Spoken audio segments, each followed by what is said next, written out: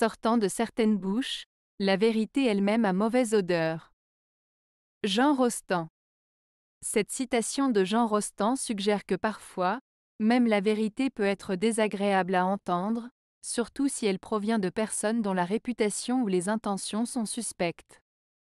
En d'autres termes, il est possible que la source de l'information ait un impact sur notre perception de la vérité même.